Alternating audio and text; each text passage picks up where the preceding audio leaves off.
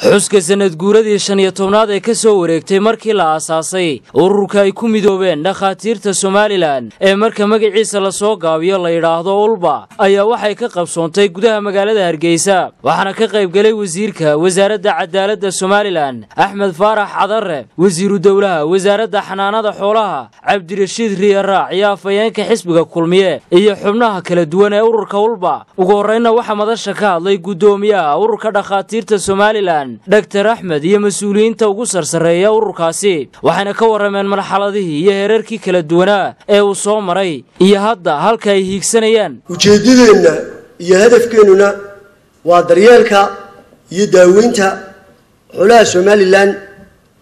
Dhakhtarka xooluhu wuxuu leeyahay muhiimad weyn buu leeyahay dalkan iyo dadkan.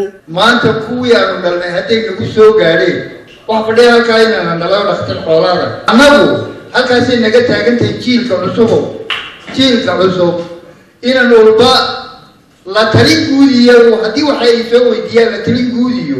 Laakiin activitygii waxaanu ku wareejinaynaa jiilka cusub. Geestooda mas'uuliyiintii ka qayb galay madashaasi oo halkaasi hadalka iska daba qaatay waxay dhammaantoodba ku dheeraadeen. Taariikhda ururkan iyo muhiimadda uu leeyahay dhakhaatiirta somalilan.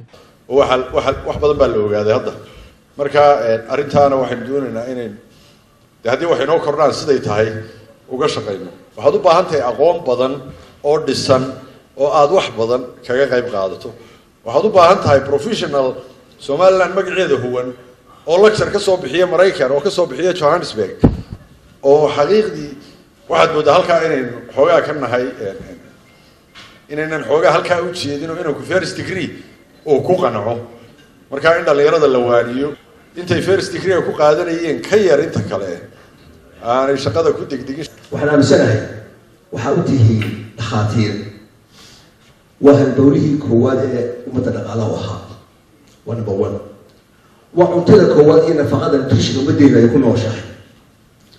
Waa iskuulkii ambiyada oo nebi kasta oo soo baxay waa halka ka soo baxay bahaa waa sooska iyo afku halka laga soo batay suugaanta iyo afku iyo darjigeena uu ka soo koro maaha wax lagu ciyaari karo.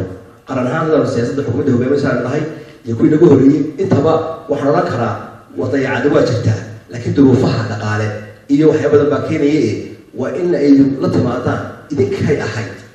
Inaydin soo odorostaan oo soo bandhigtaan oo siyaasiyiinta hogaaminta siyaasadda ah ila wasiirku wuxuu hogaaminaya siyaasadii aydin hordhigtaan oo golaha wasiiriinta la keeno aydin sheegtaan dhibaatooyinka yaal waxaa jirtay marka teknolojiya cusub iyo aqoon soo kordhay labada kale isuga qaban waxay ahaayeen cilmiga waa kordhay.